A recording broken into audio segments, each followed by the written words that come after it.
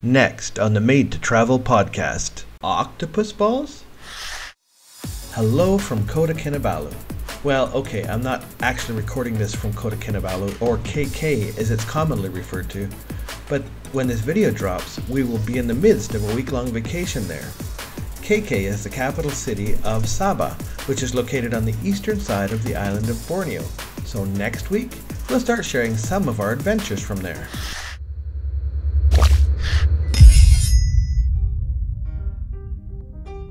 We're here at the bustling Tuesday night market once again, where the aromas of sizzling food fill the air. Let's watch as this woman expertly prepares a popular Japanese snack, takoyaki, or octopus balls.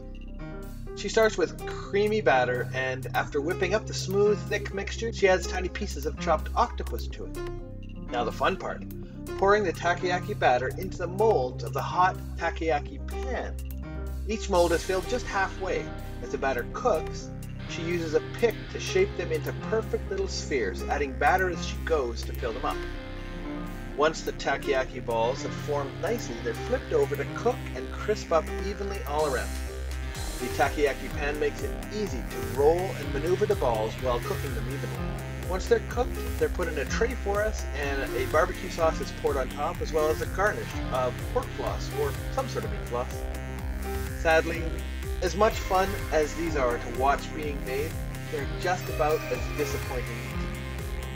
Not because they taste bad, they really don't have a lot of taste other than the barbecue sauce on top. Next time, perhaps we'll try the one that does something similar to this. But instead of pieces of octopus, they use whole tiny squid.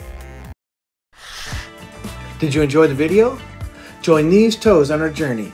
Hit subscribe and never miss a new adventure. Leave us a comment too, we love your feedback.